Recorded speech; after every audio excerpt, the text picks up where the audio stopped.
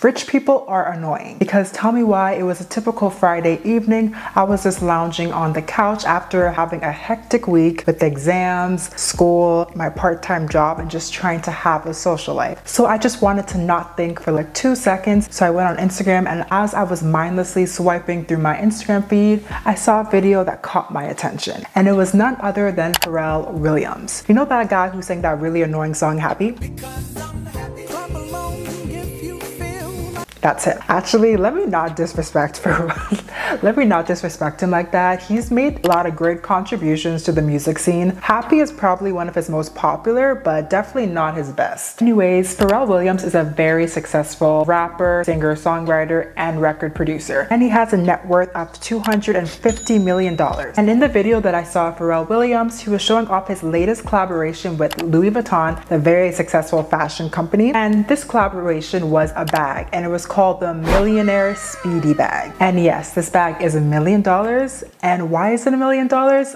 Let's see why. So instead of using a cotton canvas, which is what they usually use for Louis Vuitton bags, they swapped that with crocodile leather and they are using gold hardware on this bag and they have actually added actual diamond pendants as embellishments. This bag was only supposed to come in one color, but now it comes in five colors, like we care. And this bag is only available for Louis Vuitton's top VIP clients. So us regular folks, we cannot get our hands on this bag. We cannot go in store to ask to see this bag. We cannot touch this bag. We cannot smell this this bag. Can I be honest? We're not missing out. This bag is not worth a million dollars and in fact no bag is actually worth a million dollars and I don't think that people actually understand how much a million dollars actually is. I feel like social media has tainted our perception of money completely. If you're broke and you can't get a mortgage to buy a house then you should buy the bank to take out that mortgage and buy that house. Once you buy that house, I want you to sell the bank back to the bank to pay off the mortgage. Because in Ontario right now, you cannot find a decent house for under a million dollars. Meanwhile, Mr. Happy is out here selling a bag for a million dollars. This is why I say rich people don't like us because if this bag is only for the exclusive clients, the VIP Louis Vuitton clients, then why are they posting on social media?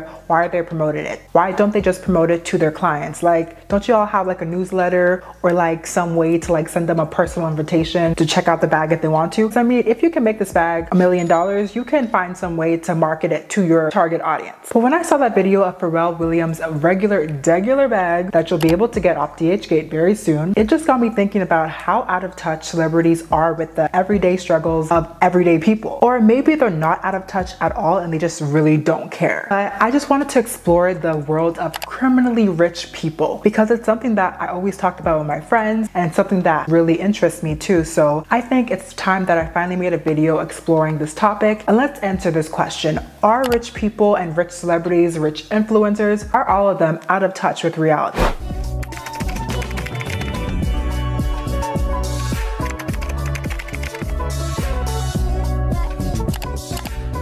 So I'm wearing a hat right now because A, it's cold here, getting very chilly, and I got low iron, so this cold life is not for me. And second of all, my hair is not looking good right now, so this hat is gonna stay on for the rest of the video. Okay, so let's talk about the privilege and isolation that extremely wealthy people experience on a day-to-day -day basis and makes them out of touch with reality and makes them out of touch with the everyday struggles of people like us, people like you and me. When I say that rich people are out of touch with reality, it's important to note that this is not a blanket statement that applies to all wealthy people. Obviously, everyone's different. I cannot generalize them and stereotype them and group them all together, but you best believe I will be dragging a lot of people in this video, so stay tuned. When I am talking about celebrities being out of touch with reality, I often find myself reflecting on the stark contrast between their extravagant lifestyles and the everyday challenges of people like you and me. It's a subject that sparks important important conversations about wealth, privilege, and the role of celebrities in society. One of the ways that wealth causes detachment from reality is isolation, which often comes with great affluence. Most wealthy people live in exclusive neighborhoods and they send their kids to private schools and often surround themselves with like-minded individuals, which limits their exposure to the everyday struggles and experiences of the average person. So if you're from Toronto, you probably know of Bridle Path. It's a very exclusive neighborhood where all the elites live. And even Drake has a house in that neighborhood. I don't think he even stays there for more than a week, but he did shoot his Tootsie Slide music video in that house. I'ma show you how to get it. It go right foot up,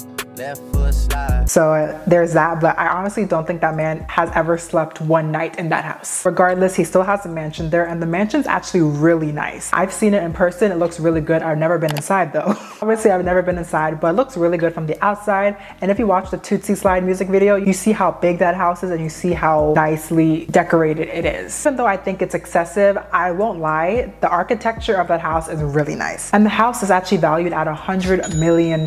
So yeah, that house is very expensive. Drake actually had to fight the city of Toronto to build a higher fence so he could have more privacy. So when you like drive by his house, you can't really see it because that gate is high. but you can look from far away and look through the gates. But I don't really recommend doing that. There's security 24 seven. So yeah, don't do that. Anyways, everyone who lives on Bridle Path is loaded. They got money because those houses are huge and they're really beautiful and there's security 24 seven. So it's a very gated community and it's very exclusive. Last year, me and my girl actually went to check out the neighborhood just because we are like, we want some inspiration. Also, we were bored and we're just like, you know what, let's just see how mansions are. Anyways, we were just driving by and like the houses were beautiful, but there is security 24 seven and the security guard was looking at us. Like I know he was like, mm-mm, these girls do not belong here. We were in a Honda Civic, it was beaten up. The Honda was tired, so he definitely knew that we could not afford one of those houses there. No shade to Honda, Honda's a great car. But the point I'm trying to get at is that this neighborhood is very exclusive, very gated, so people who live here have a sense of privacy and also a sense of seclusion. Neighborhoods like Bridle Path are designed to keep the world at bay. This seclusion can make it difficult for those who are extremely privileged and wealthy to understand struggles of people who live in less fortunate areas. These celebrities could not grasp living in a house that does not have at least three walk-in closets.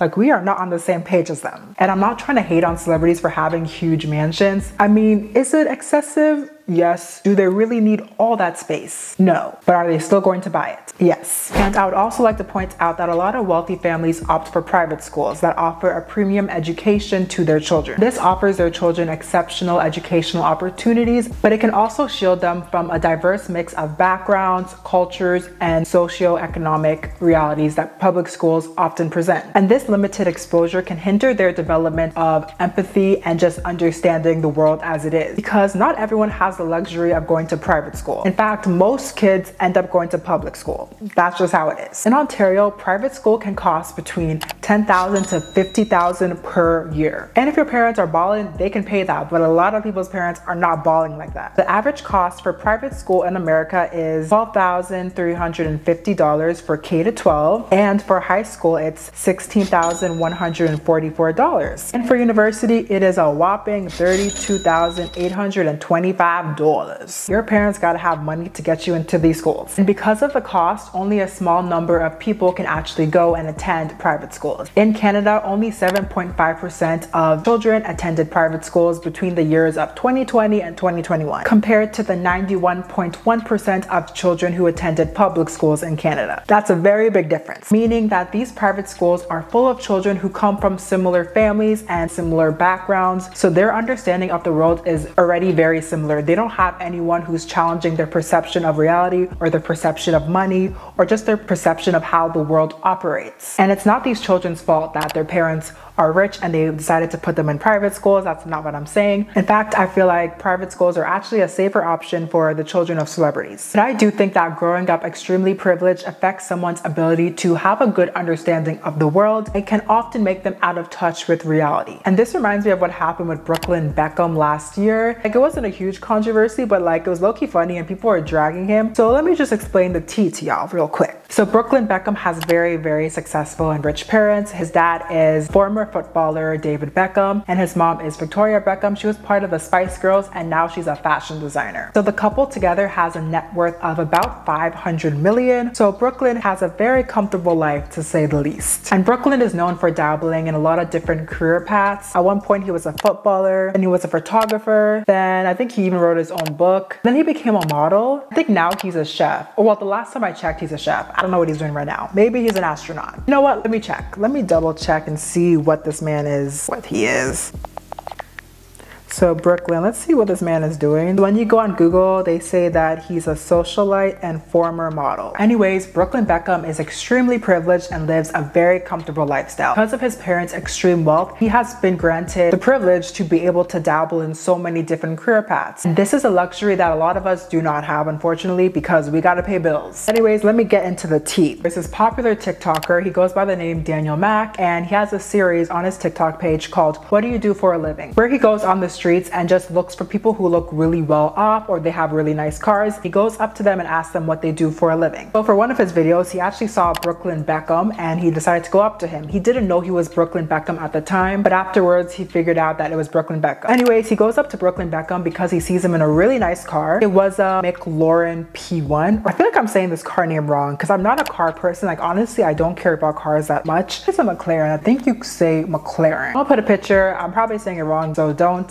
trust my pronunciation. Anyways, this car is very, very exclusive. It's actually over a million dollars. Basically, Daniel asked Brooklyn, he's like, hey, what do you do for a living? And Brooklyn decides to say that he's a chef, implying that because he's a chef, he was able to buy that very expensive car. And I was just like, Brooklyn, Really? It's mommy and daddy's money. That car is over a million dollars and you're telling me you're a chef and because you're a chef, you were able to afford a car that's over a million dollars. Like be so for real. I think at that point he was only a chef for like a couple of months. I don't think he was a chef for that long. I don't even know if he's still a chef, man. As I said, he's probably an astronaut right now. He got dragged for saying that and the comments are actually funny. And Brooklyn seems like a nice guy or a cool guy, but when you're so privileged, you become so out of touch with reality. Brooklyn was born wealthy. He's never had to experience what normal people would experience. He is super, super privileged, so he's probably so out of touch with reality. And that's why he answered that question the way he did. Also, it's important to note, even though I kind of already mentioned this earlier before, but it's just important to note that wealthy individuals are usually going to spend their time with other wealthy individuals who think similarly as they do. So their social circle will include people who have similar values, interests, and concerns as them. And while there is nothing inherently wrong with this, it can result in an echo chamber where their view of the world is reinforced and their understanding of broader societal issues is very limited. And this reminds me of Miss Kim Kardashian's 40th birthday party during the Panini. So for some reason, I can't say the actual word because YouTube just is not allowing that. But you guys remember that big event that happened in 2020 that changed the world? I'm gonna call it Panini, but I think you know what I mean. Anyways, during the Panini, while people were losing their jobs, separated from loved ones, and dying and losing their loved ones, Kim Kardashian thought it would be appropriate to post her 40th birthday party where she flew all of her close friends to a private island to celebrate her birthday. So let me actually read the tweets that she decided to tweet. After two weeks of multiple health screens and asking everyone to quarantine, I surprised my closest inner circle with a trip to a private island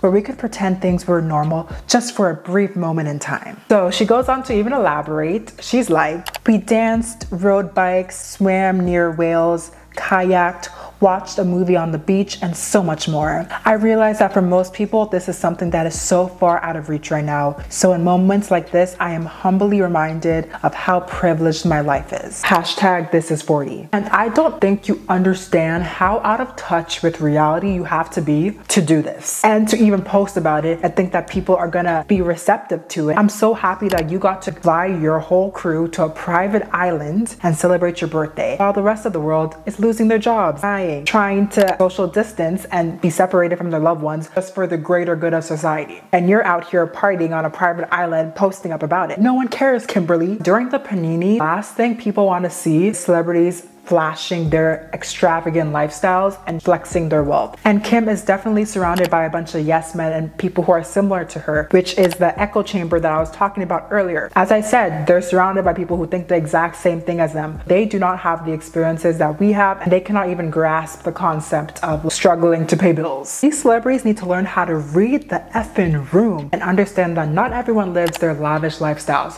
which are not even ethical if we're being honest, but that's a discussion for another day. During the Panini, Kim was not the only celebrity who was acting like a fool and thought that she was above the law because of her status and her wealth. A lot of celebrities were acting up, but I can't talk about all of them because this video would be one hour long. I remember in 2020 or 2021, Rita Ora, she's a British singer-songwriter, she paid a restaurant 5,000 pounds, which equals to 6,143 US dollars, a lot of money, just to celebrate her birthday. Despite the fact that we were literally in the middle of a panini and we were supposed to be social distancing. But because she's Rita Ora and she has a lot of money, she thought that she was above the law. So she was like, you know what? I'm not gonna social distance because I have money, so the law doesn't apply to me. And when it was exposed that Rita Ora did this, you best believe she got dragged. And the police actually called for restaurant to have their license revoked because what they did was illegal, literally breached lockdown laws. But during the panini, celebrities were just 10 times more annoying. And I think that caused a shift in how we viewed people who are very, very wealthy. Because before that, I feel like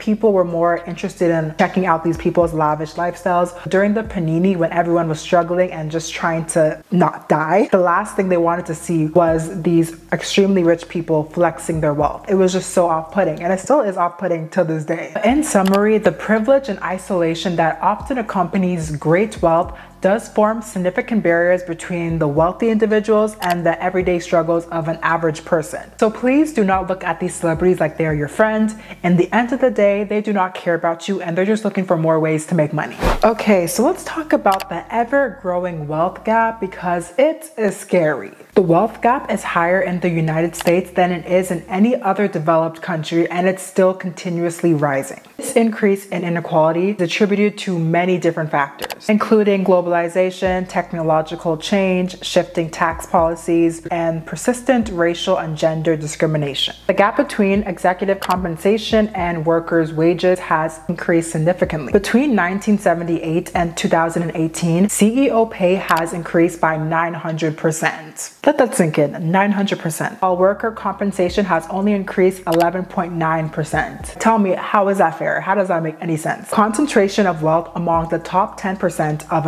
Americans is particularly stark because it accounts for 70% of the nation's wealth. And this was in 2021. So imagine what it is now. That is just so crazy to me. I just can't wrap my head around it. That 10% of the population owns 70% of the wealth. Like, do you know how unfair that is? like, that is extremely unfair and that does not sound ethical at all. What surprised me and actually disappointed me too was that the panini actually further widened this gap. People who were extremely wealthy got even more wealthy during the panini. People who did not have that much money to begin with were struggling immensely during the panini. A lot of people became more richer, like even Rihanna became a billionaire during the panini. And another interesting stat that I saw when I was reading this article was that the bottom 50%, which equates to about 63 million families, they owned 2.5% of the nation's wealth. You know how crazy that is. 63 million families own only 2.5% of the nation's wealth.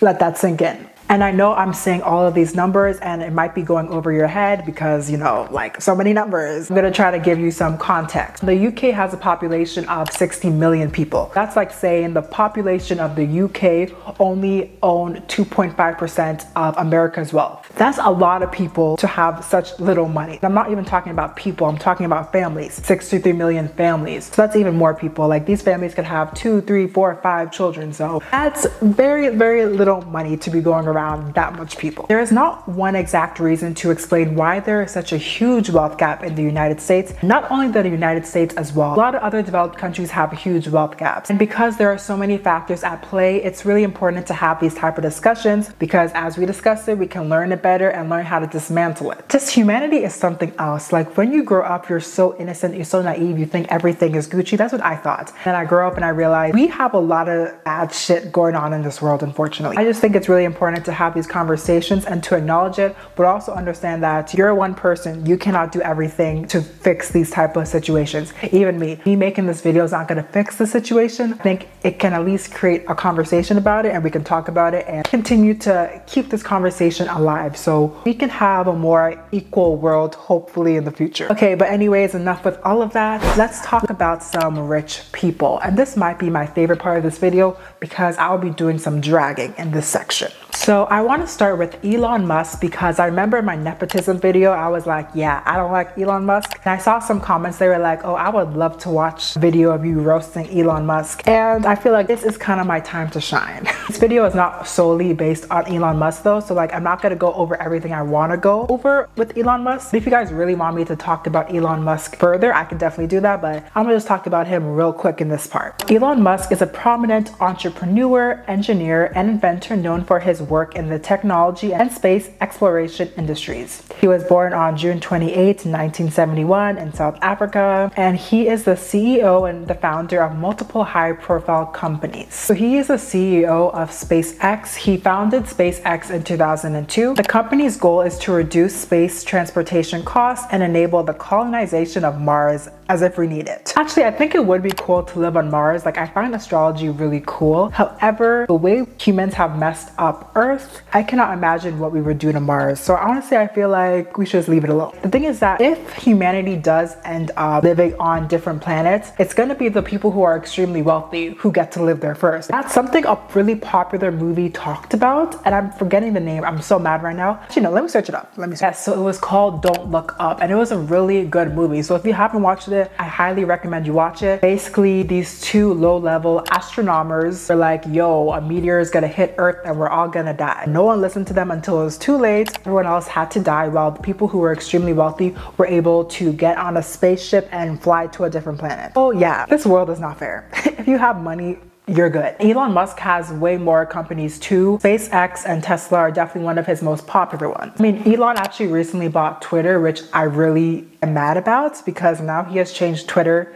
to X. I'm gonna still call it Twitter, but I don't even understand why he called it X. Like, he's just so annoying. He just bought Twitter to show that he can buy Twitter. Like, there's literally no reason for him to have Twitter, but the fact that it's called X now, this like, why? I don't know, this man's annoying. Anyways, Elon Musk has a net worth of 225 billion dollars. I just can't, like, I really just can't wrap my head around how much money that is. We need to understand how much money that is. That is a lot. Who needs all of that money? Just really want to know because that's a lot of money. Like even $1 billion is a lot, but 200 billion, 99.9% of the world's population will never see that type of money. Really don't see how it's ethical to have one person hoarding all of this wealth. He is worth more in some countries. My brain cannot comprehend. So when I was researching Elon, I wanted to look at all of his properties, but it turns out he's in the process of selling all of his properties apparently. Right now, he rents this really small space next to his company SpaceX. He rents it for $50,000 and it's really small. So very different from his previous huge mansion, huge mansion. Girl, why can't I not say mansion? Mansion. So honestly, I don't really believe it's gonna be a long-term thing. Knowing Elon is probably just something temporary and he's planning something even bigger. I just don't trust him. Like I really just do not trust that man. And when I was doing more research, I had my suspicions of Elon confirmed because this article wrote that it's believed that Elon's in the process of trying to build a company town, which he wants to call it Snailbrook. In this company town that he would build, he would also build a glass house for himself. And the first thing I thought, I was like, what the hell is a company company town. So I searched it up and this is what a company town is. So a company town is a place where practically all stores and housing are owned by one company that is the main employer. Company towns are often placed with a suite of amenities such as stores, houses of worship, schools, markets, and, and recreation facilities. So I was like, damn. Imagine being so rich that you can build yourself a whole town. And that makes more sense. Like honestly, I did not think Elon was gonna be in that little tiny house for a very long time. I just knew like something had to be cooking up. I don't know if Elon has confirmed this yet, but this is something that a lot of articles are reporting about. So yeah, we're gonna see how this town, company town ends up looking like. I'm sure it's gonna be huge. I'm sure Elon's house is gonna be gigantic. That just proves that money runs the world. When you're so wealthy, you can do whatever you want. This guy is literally out here building a whole town just because he has money.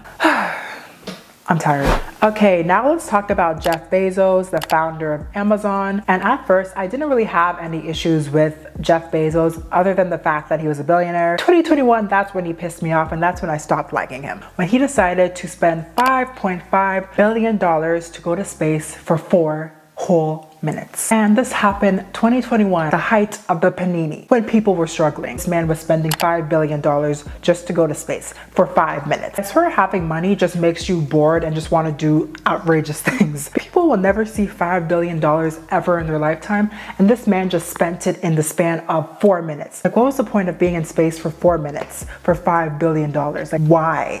and this even reminds me of Squid Games too. I'm sure you have all seen that. If you haven't seen Squid Games, I'm gonna spoil it right now, just skip this part. Anyways, at the end, we found out that that old man was like a really, really rich guy and he created Squid Games because he was so bored with having all that money. He needed some excitement, so he decided to create the game in the first place, which killed so many people. People with money have no concept of actual humanity. Back to Jeff Bezos. So the World Food Program recently challenged a couple billionaires, I think Jeff Bezos, Elon Musk, and Richard Branson to commit $6 billion to help 41 million people stop starving. That sounds easy, right? Elon Musk is worth over 200 billion. Jeff Bezos is worth, I think 144 billion. And Richard Branson, I think he's worth about 2 billion-ish. I don't think they have gotten back to the World Food Program. Money that Jeff Bezos spent to fly to space could have literally saved about 37 million people from starving. And no, he decided to go to space. His total real estate profile is valued at over $500 million. 500 million.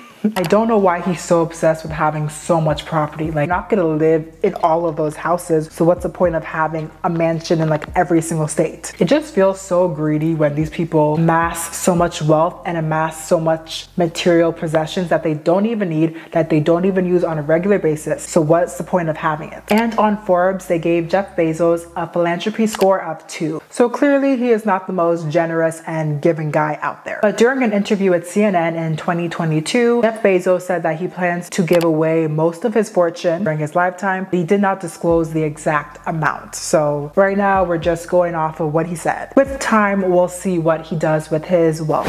And I wanted to briefly talk about Rihanna as well. I know you guys are probably not expecting her. I'm not going to be hating on her because I do like Rihanna too, but I am going to be just pointing out some things that I do not really like. So Rihanna became a billionaire during the Panini. I mentioned this earlier. People who were already wealthy became even more wealthier during the Panini. But when she became a billionaire, I saw it all over my timeline. Everyone was posting about it. Everyone was congratulating her from becoming a billionaire, which, you know, great for her. Happy her business was successful and now she's a billionaire. But also, I don't care. Like, realistically, when I saw the post, I just did not care. I, I was not interested in congratulating her. I was not interested in celebrating the fact that she's a billionaire because what does that do for me? And what does that do for the millions of people who are struggling and do not even have like $10 to their name? And especially during the Panini, like who really wants to celebrate someone becoming a billionaire? And as I said, I'm not trying to hate on Rihanna because she is not as annoying as Elon Musk and Jeff Bezos is to me because there is no ethical way to become a billionaire. There is no ethical way to make that much money and hoard that much wealth. It's not ethical because you have to think of the working conditions that these employees work in. How long do they work in a day? How much is their pay? All of those factors have to be taken into consideration because for the most part, it's usually not that good. Anyways, let me talk about Oprah Winfrey real quick because this girl was annoying me two months ago. It wasn't just Oprah, it was The Rock as well. Anyways, about two months ago, Oprah Winfrey and The Rock asked people to donate to their Maui fund. If you didn't know, in 2023, in August, there were a bunch of wildfires that broke out in Hawaii and thousands of people lost their lives and lost their homes. So Oprah and The Rock were trying to raise funds to help the people who were affected by the fires. Just to put things into perspective, the wildfires caused between between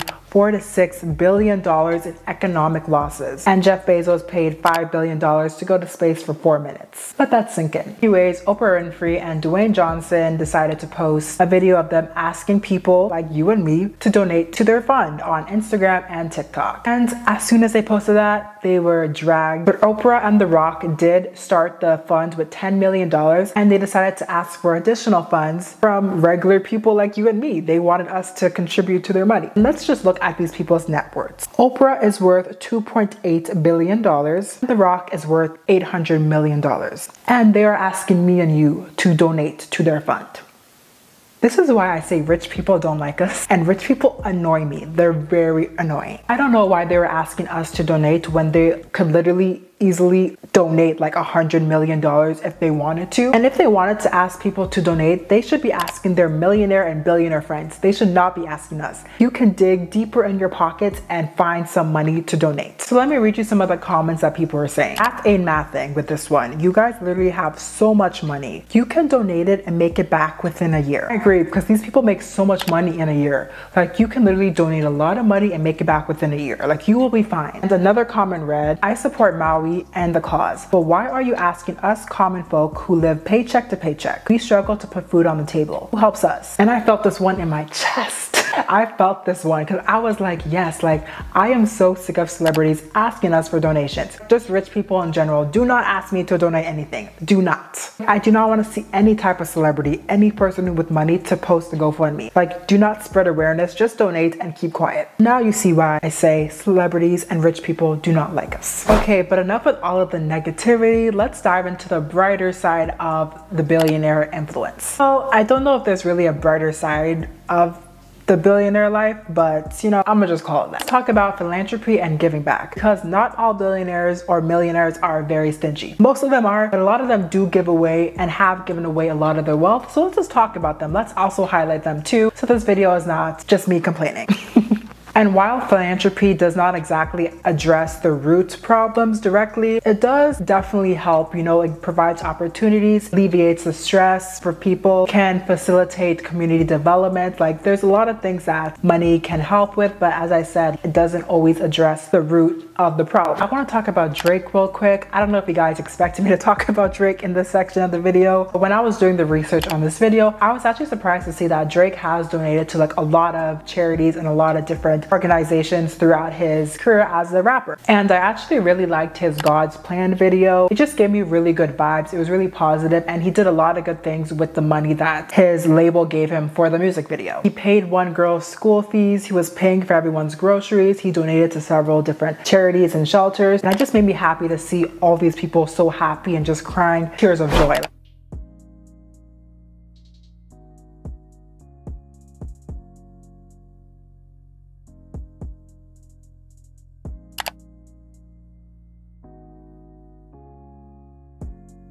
And Drake is currently on tour right now and he has been giving away so much money and gifts and just has been doing so much on this tour. When he came to Toronto, I think he gave away a G-Wagon. He gave people like money for a shopping spree, paid for one girl's like medical bills. He has been paying people's tuitions. Honestly, going to a Drake show at this point is an investment. And when I saw that he was paying people's tuition, I was like, let me buy a ticket. I literally went on Ticketmaster. I was ready to buy the ticket until I saw the price. Then I was like, you know what? I'll pass. And I found this article article that listed all the donations that Drake has donated to. They only listed 10 and I know there's way more than that. Link the article below if you want to check it. But I was just actually surprised to see that he has donated that much because I didn't really have the greatest perception of Drake. But also at the same time too, a lot of celebrities can keep their donations private as well. But Drake has never posted no GoFundMe link on his story. Correct me if I'm wrong, but I've never seen him post anything or ask fans for money. So that's why I decided to include him in this part of the video. Okay, but now let's talk about Mackenzie Scott. She is the ex-wife of Jeff Bezos, the guy who founded Amazon, the guy who spent $5 billion to go to space. They were actually married, I think, for 26 years until she filed for a divorce. And due to the divorce, Mackenzie Scott owns a 4% stake in Amazon, which has, you know, made her very, very wealthy. She has a net worth of $32 billion. And she has already donated a lot of her money to many charities and many different organizations, which actually surprised me because people who have way more money than her have not even donated half of what she has donated.